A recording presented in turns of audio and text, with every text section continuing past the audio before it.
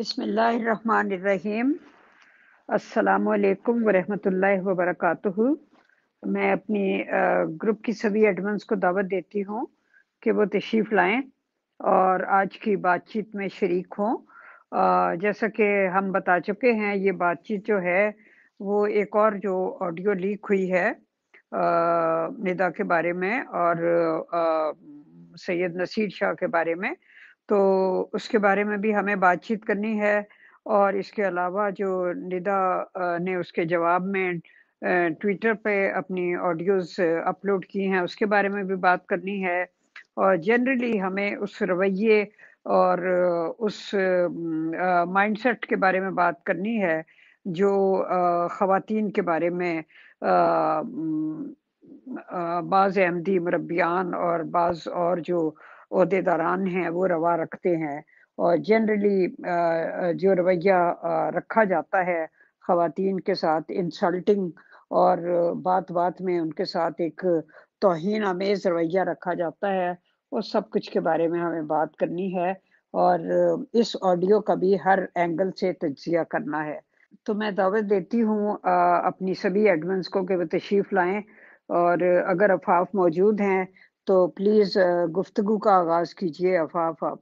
हाँ जी अस्सलाम वालेकुम अदाब नमस्ते, सत श्रीकाल, गुड मॉर्निंग। ये ऑडियो जो है, ये कल ही मेरे भी इलम में आई थी और फिर मैंने इस पर तहकीक मुकम्मल करवाई कि ये मामला क्या हुआ है।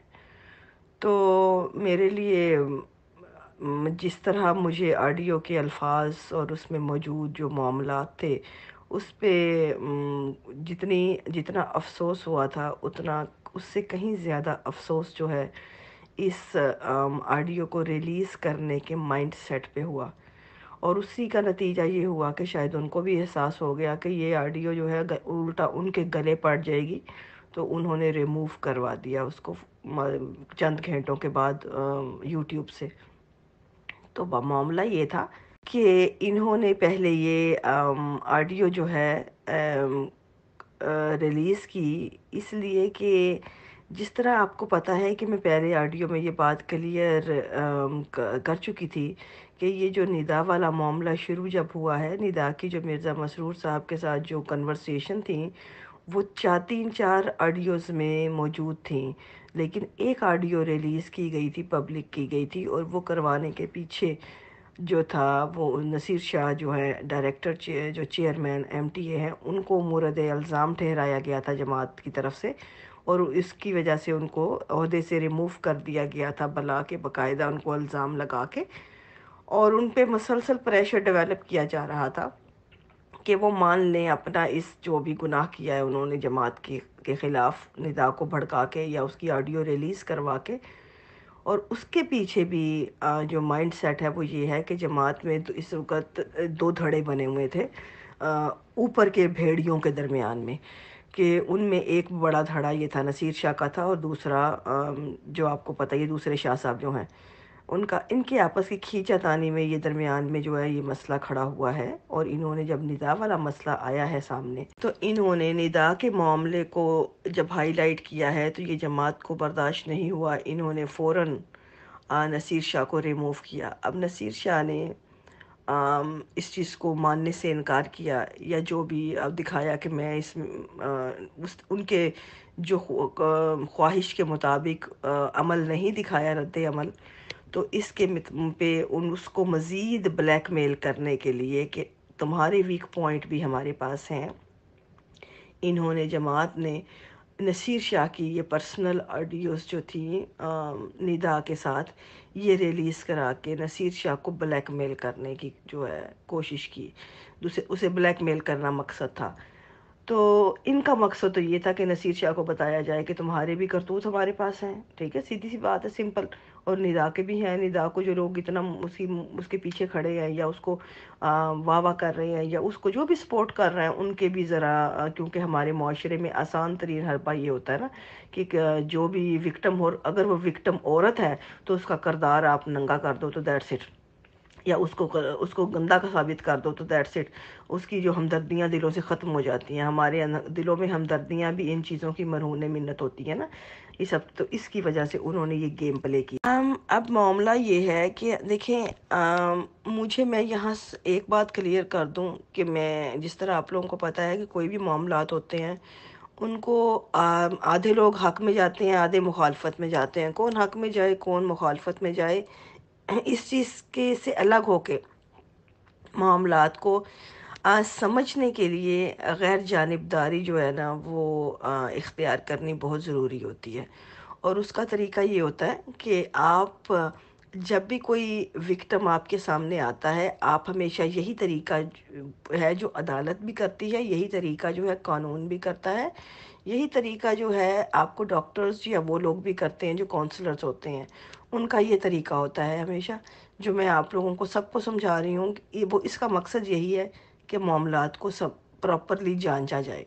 निदा आ, सच है या झूठ है? जो झूठ कहता है वो उनकी अकीदत की पट्टी आँखों पे लगी है। जो सच कह रहे हैं उनको भी पूरा सच अगर पता लगे शायद तो मैं समझती हूँ या हम कि वो पीछे हट जाएँ। क्यों? क्योंकि हम कल्चरल लोग हैं। हम लोग जो हैं अपने ट्रेडिशन के अंदर इंसानियत को भुला देते हैं। लेकिन हम ये भूलें हम ये भूल जाते हैं कि इंसानियत बियॉन्ड होती है इन चीज़ों से अलग होती है। आ, हर जो मुजरिम होता है उसकी एक नफ्सियात होती है। और आपको पता है दुनिया भर के जितने भी कवानीन हैं वो आ, उसमें दो तरीके आ, उनके दो उनमें बड़े मेन डिफरेंस पाया जाता है। एक वो होता है जो बच्चे के लिए कानून बनता है एक बनता है एडल्ट के लिए। जो जितने भी दुनिया में कवानीन हैं, जो बच्चों के लिए, वेस्ट में आपको नज़र आएँगे, जो बच्चों के लिए बने हैं, वो इंतहाई सख्त हैं।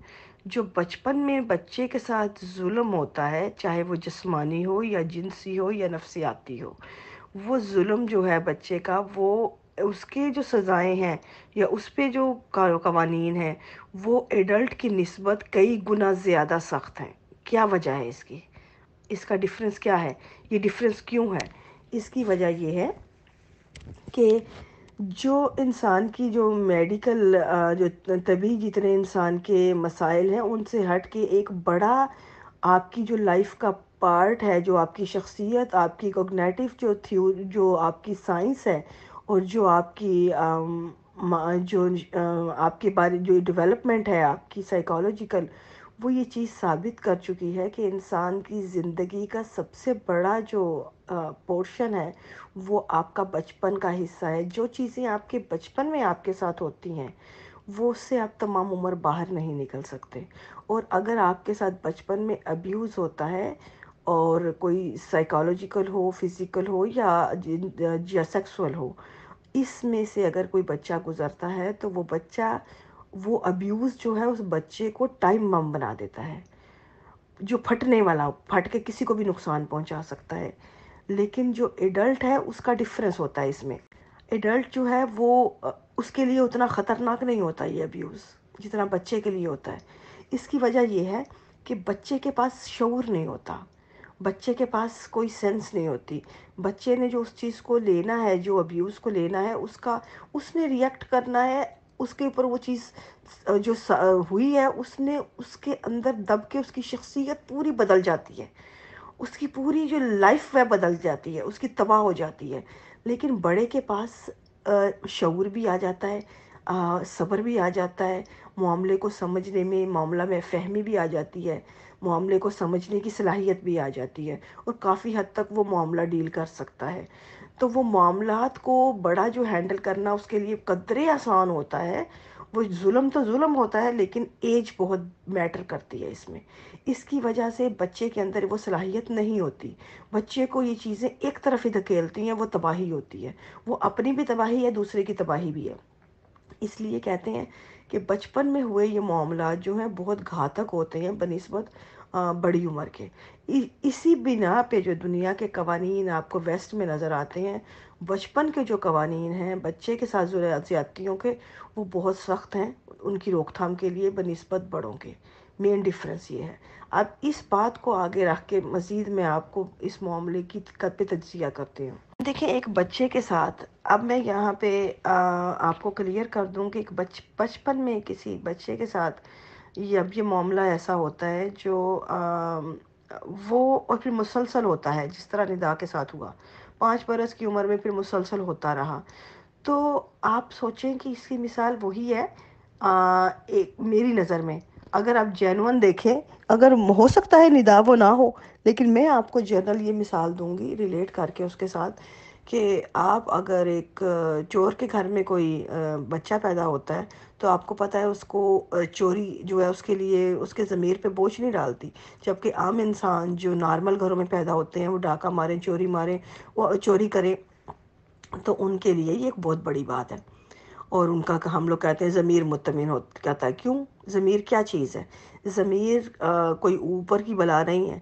कोई बाहर से मतलब कोई कोई ख़ास चीज़ नहीं है, बल्कि आपके अपने ही जिसम के अंदर एक हिस्स है, जो आपको बचपन में जो चीज़ें बताई, पढ़ाई, सिखाई जाती हैं ना बार बार तो वो आपको बार, आपके अंदर एक वो क्रिएट होती है कि ये आपके मॉरल वैल्यूज़ ये आपकी बाउंड्रीज़ ये आपकी बताई और पढ़ाई गई हुई चीज़ें हैं, वो आपके अंदर जो हैं, वो बचपन में जो है, वो आपके जहन में ऐसे चिपक जाती हैं कि जब भी आप उस चीज़ के अगेंस्ट सुनते, करते हो, वो आपको बार बार बताता है कि ये गलत है, ये गलत है, ये गलत है तो वो उसको आप ज़मीर कहते हैं कि ज़मीर मलामत कर रहा है क्योंकि आपने वो सुनी है, वो गलत है, आप उसके अगेंस्ट जा रहे हो।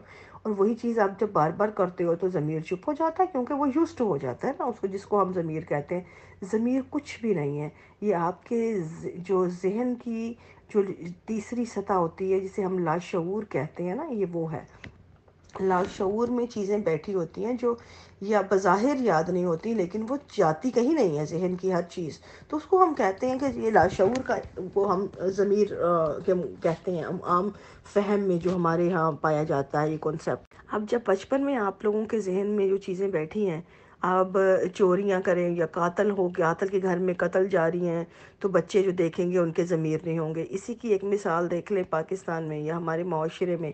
बच्चियों को हम बुरका पहना देते हैं छोटी उम्र में नौवीं, दसवीं में। अब वही बच्ची जब आके बुरका उतारेगी किसी लम्हे, उसके जहन में आएगा बुरका उतार उसके लिए वो एहसास होता है। मैं उसको एक नंगेपन का एहसास होता है। हालाँकि उसने कपड़े पहने होते हैं, लेकिन उसको फिर भी वो एहसास होता है कि शायद वो नंगी हो गई है, लेकिन नंगी नहीं होती।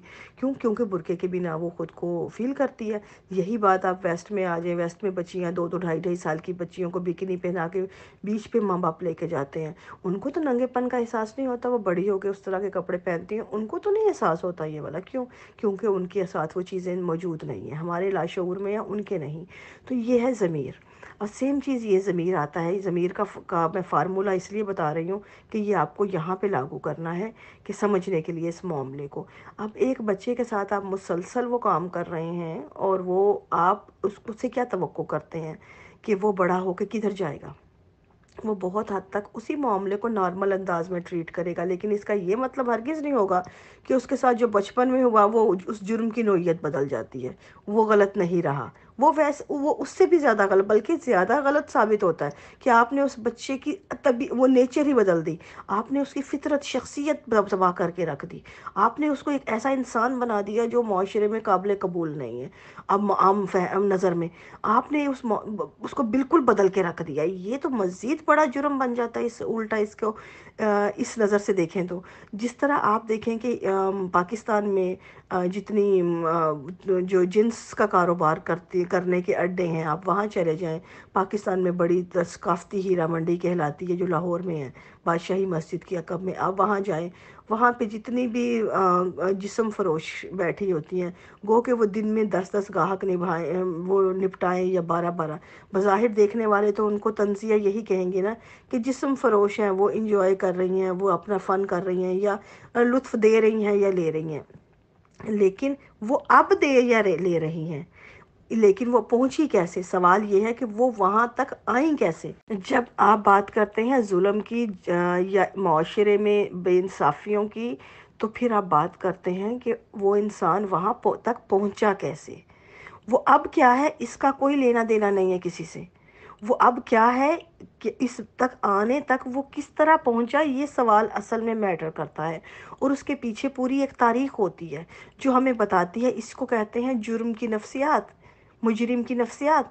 अब आप इसको इस बंदे को या इसको जितनी मैंने आपको मिसाल दी है कि जितने जिसम फरोशी के पे बैठी हुई ख़वातीन हैं जो जिसम फरोश कर रही हैं वो घरों से उठवाई गई अगवा की गई दलालियाँ की दल, उठाए उनको दलालियाँ की गई उनकी उनको किस तरह उनकी मजबूरियों को कैश करवा के, घसीट के उनको किस तरह इस जगह पे लेके आया गया, वो एक बड़े तकलीफ़ दे मराहल से उनकी ज़िंदगी यहाँ तक आई।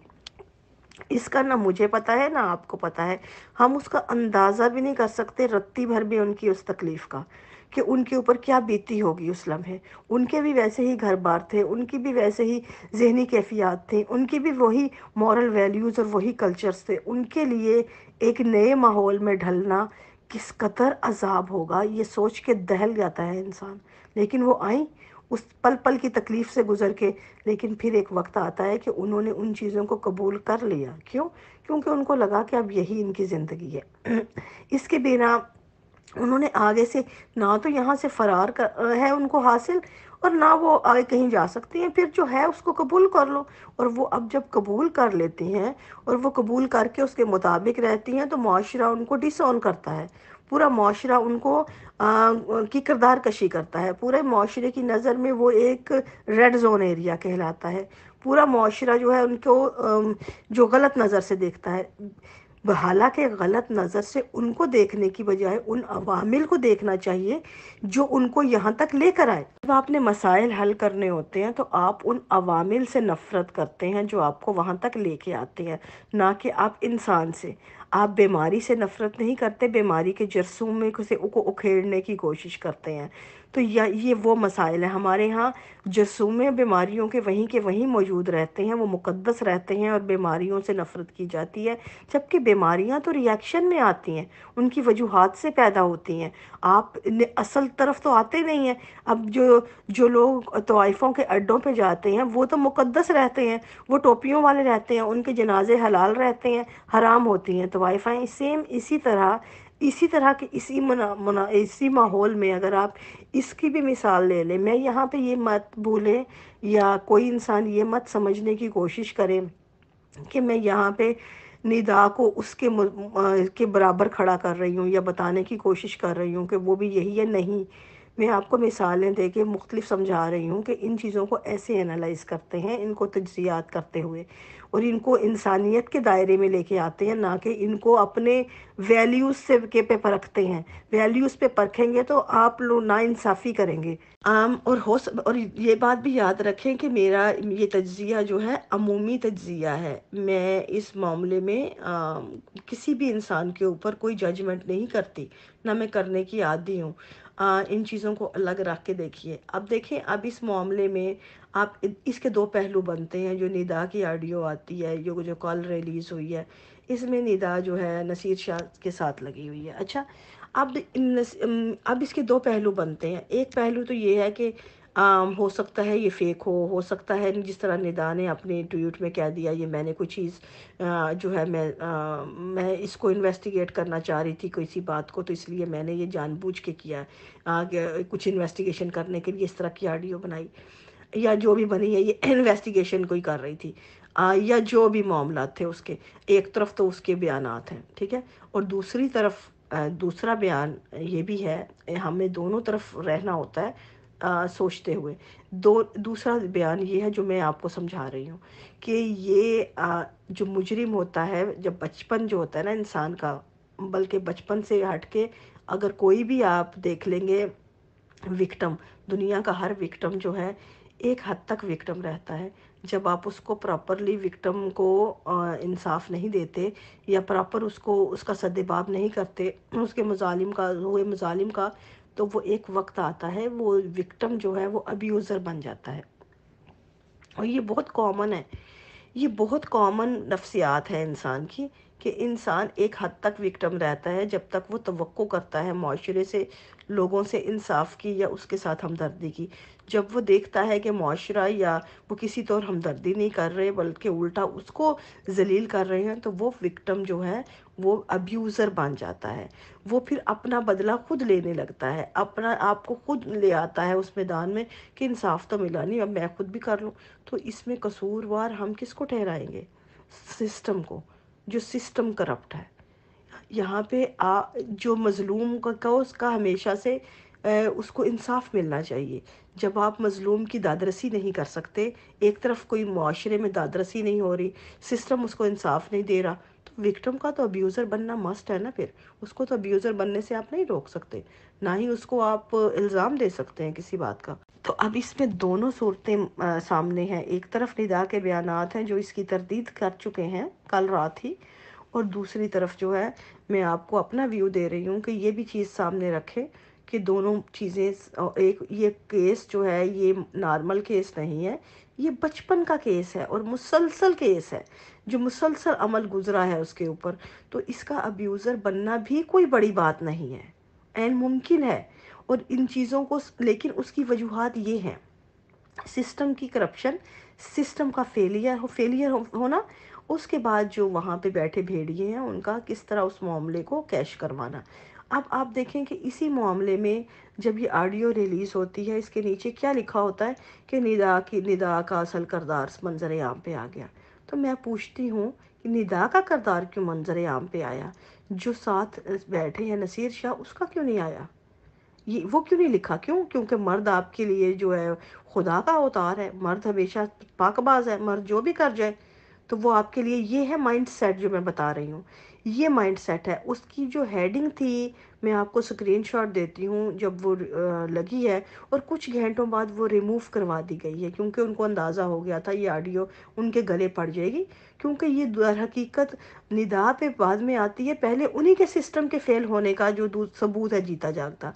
कि आपने हमारे ऊपर वो लोग मुसलत कर रखे हैं बरसों से।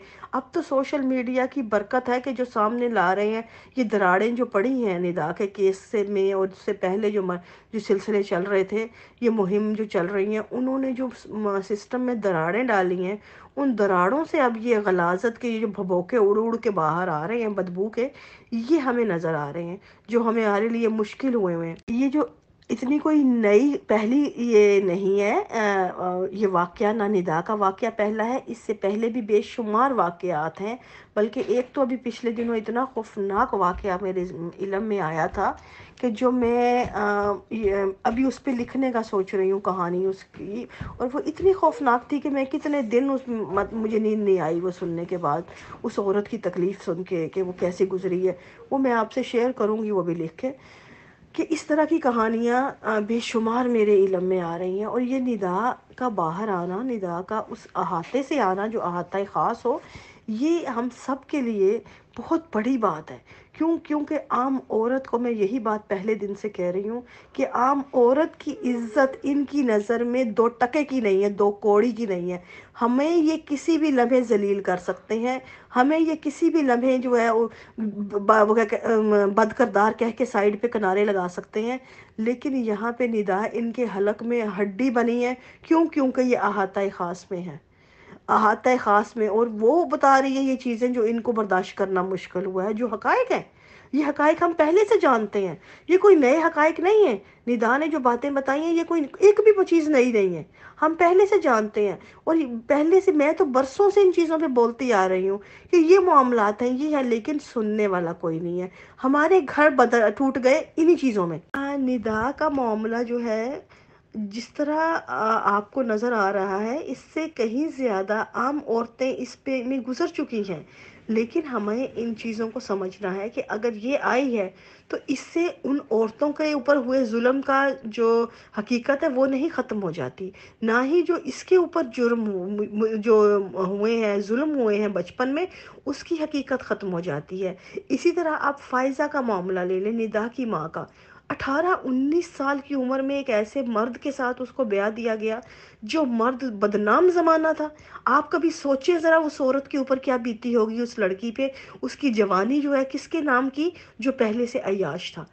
अच्छा वो तो ठीक था, वो आज भी जो है खिलाफत के कोट पहना रहा है, खिलाफत की टोपियाँ, अंगूठियाँ पहना रहा है। वो आज भी खिलाफत कमेटी के साथ बैठा खलीफा का राइट हैंड बैठा है, लेकिन जलील कौन हो रही है? वो जिसने कुर्बानियाँ दी हैं, वो जिसने खिलाफत के तख्त के नीचे अपना खून बहा के हकूक़ का, जिसके ऊपर पूरा खिलाफत का तख्त खड़ा है, इस, वो जलील हो रही है। मतलब औरत जो है अपने हकूक़ की कुर्बानी दे, औरत जलील हो, औरत अपनी इज़्ज़त लटवाए, औरत इनके अहदेदारान के साथ भी जलील हो, लेकिन जहाँ वो अपने हक के लिए खड़े हो, अपने से जुल्म के ख़िलाफ़ बोले, वो आगे से मज़ीद उसको जलील सिस्टम करता है, उसको नंगा करता है, उसको मज़ीद उसकी जो है लीक करता है, उसकी करदार कशी करता है, मज़ीद उसको जलील करता है, उसकी आवाज़ को दबाने के लिए। लेकिन जो आपके अंदर बैठे हैं, दाढ़ियाँ रख के, टोपियाँ पहन के, आपके अंदर पूरा का पूरा सिस्टम ये है कि आपने दाढ़ी रख लो, टोपी रख लो, आप मुकद्दस के मुकद्दस हो। आपको ओहदे भी हैं, आपके तकरीरों का मौके भी मिल जाते हैं, भाषण भी दे सकते हो, आप हमें बता सकते हो कि करदार का मतलब क्या है। टोपी और दाढ़ी रख के, जबकि आपका अंदर का करदार जितना मर्ज़ी घनौना हो, इसके, इससे कोई बात मत करे इस बात पे। जबकि नज़र आ रहा है ये आपको गलाजत के ढेर नज़र आ रहे हैं, इसके पीछे कौन है? और ये कोई आम मामूली लोग नहीं है बात ये करने वाली है। आम इंसान में या आप कोई ऐसी हरकत करते हैं तो ये काबिल बर्दाश्त है, और ये ये किसी हद तक नॉर्मल है, क्योंकि हम आम लोग हैं। हम अपनी गलतियों में समझना जानते हैं, आगे उनसे सीखना जानते हैं, आगे बढ़ना जान लेकिन ये जो इस पैमाने पे लोग होते हैं, जो बड़े आला अहदे पे होते हैं और एक ऐसे लेवल पे होते हैं जिनका जिन्होंने रोल मॉडल के तौर पे खड़े होकर स्टेज पे दूसरों को भाषण देने होते हैं। आप जब उनके करदार ऐसे देखते हैं तो आपका अंदाज़ा करें कि आप पे क्या गुजरती है। ये बहुत बड़ी ब्लेसिंग है, मैं आप सबको बताती हूँ, इस तरह की ऑडियोस इनको जो है नेगेटिव मत लीजिए। किसी भी आडियोज़ को ना निदा की ना इस आडियो को। किसी भी आडियोज़ को नेगेटिव मत लीजिए इसको हमेशा पॉजिटिव लीजिए। ये आम इंसान के लिए पॉजिटिव है। नेगेटिव है तो आ, उन लोग तबका ख्वास के लिए। नेगेटिव है तो उन लोगों के लिए जो ख़ास लोग हैं, जो अहदेदारान हैं, जो ऊँचे ऊपर बैठे हैं सिस्टम में। लेकिन ये आडियोज़ मेरे, आपके और हर आम इंसान के लिए ये बहुत पॉजिटिव हैं। आँखें खोलने के लिए, दिखाने के लिए आपको कि अंदर का एक्सरे इनका पोस्टमार्टम करने के लिए कि देखिए, आँखें खोलिए। आपके ख़ानदान आप लोग इनकी वजह से छोड़ते हैं। आप अपने रिश्ते इनकी वजह से तोड़ते हैं। आप अपने करीबी रिश्ते, अपने रहमी रिश्ते इनके तकदस में छोड़ते हैं। ये है इनकी औकात। देखिए, आँखें खोलिए, अपने रिश्ते सुधारिए। ख़ुद को समझिए, इंसानियत पे आइए, इंसानों को पहचानिए और मुनाफ्त से निकलिए। ये मुनाफ्त है। ये आपको कहीं का नहीं छोड़ेगी। ये मुनाफ्त इतनी घनौनी है कि आम लेवल से कहीं ऊपर की मुनाफ्त है ये। जो जाने, जो इंसानी जानों से खेल रही है, जो इंसानी हकूक़ का कत्ल आम कर रही है, ये वो मुनाफ्त है।